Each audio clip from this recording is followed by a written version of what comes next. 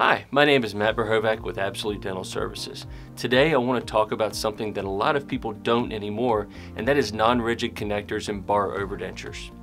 In today's market, with digital technology taking up such a large footprint in fabrication of dental restorations, many labs tend to forget about restorative protocols that we have used for years, such as ERA attachments and Hader bars from Sterngold Dental, as well as many other attachment options. Even though digital technology has taken a large portion of this market, we at Absolute still feel that there is an important market in these restorative protocols when digitally fabricated restorations are not an option and when used properly can solve a lot of restorative complications that would otherwise be considered non-restorable.